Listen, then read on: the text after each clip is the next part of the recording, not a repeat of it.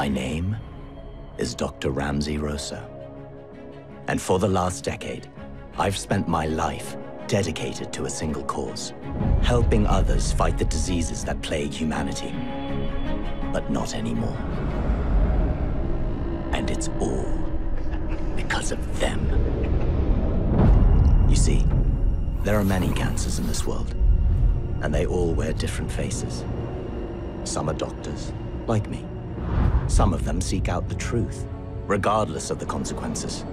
Others mock the very science they worship. We just ran out of time. But the most dangerous ones are those who call themselves heroes. They claim to fight for the things that matter in life. Truth, family, law, order. And most of all, for life itself. Why is it every time I come to visit, there's always a crisis? But it's all a lie. Because in the end, there's only one battle. One thing to fight against.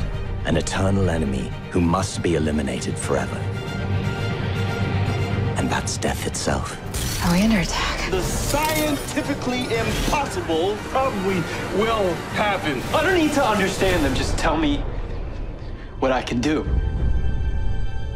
No one has to die. Ever. Again.